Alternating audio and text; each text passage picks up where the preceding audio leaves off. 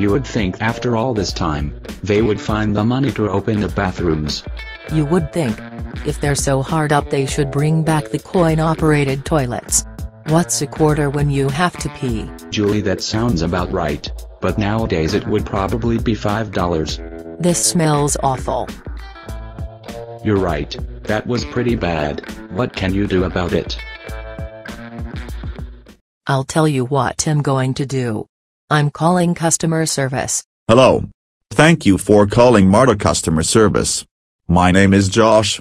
How can I help you? Josh, this is Julie from Buckhead. Okay Julie. What's the problem? It's the elevator.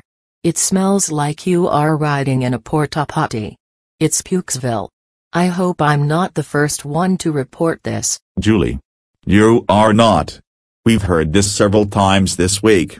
I know there are plans being made to do something about the problem. What and when? I'm not sure what. But soon. Thanks for calling. Hey Maury.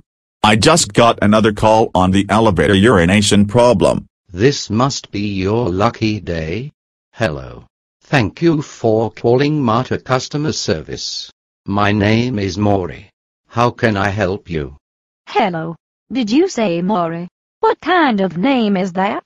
Are you located in the U.S.? Ma'am, I'm right here in Atlanta. Now what can I do for you? Maury, you're very funny. I'm calling about the Marta elevators. The smell of urine is so bad, I have to hold my breath till I get off. One of these days I'm going to pass out. Ma'am, we'll be announcing a solution soon.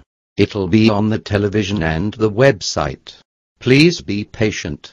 Thanks for calling. Okay. What the hell is so important this morning? Boss. It's the elevators. They stink and the calls are coming from all over the system. That's right, boss. We can't keep up with the rest of our work. We have to do something. I'll show you what we're going to do. It will take two weeks for us to set up the test elevator.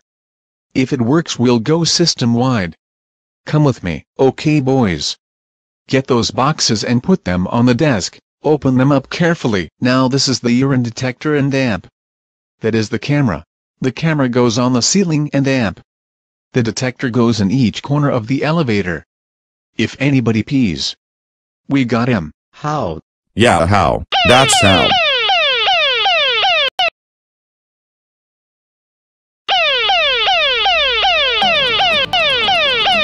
Hold it. Stay where you are. Who peed in the elevator?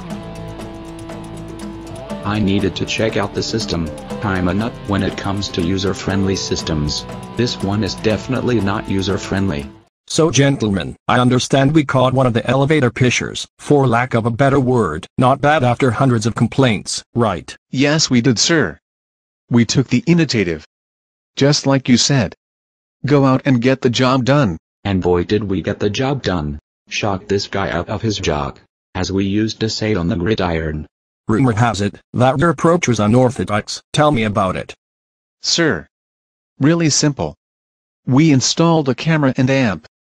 A splatter urine detector in the elevator. When suspect pees the urine detector sets off the alarm the camera takes his picture. And we rush him to make the collar. Almost instantaneously. Great. What about the cost? Cheap boss. Real cheap. 250 for the camera. 10 grand for the urine detector.